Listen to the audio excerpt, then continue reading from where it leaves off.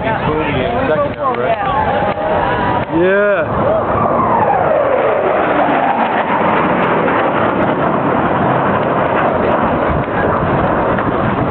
To demonstrate the awesome maneuverability and power of the CF-18, let's watch Captain Mitchell as he performs his first maneuver, the dirty roll, followed by a oh, Cuban 8. roll.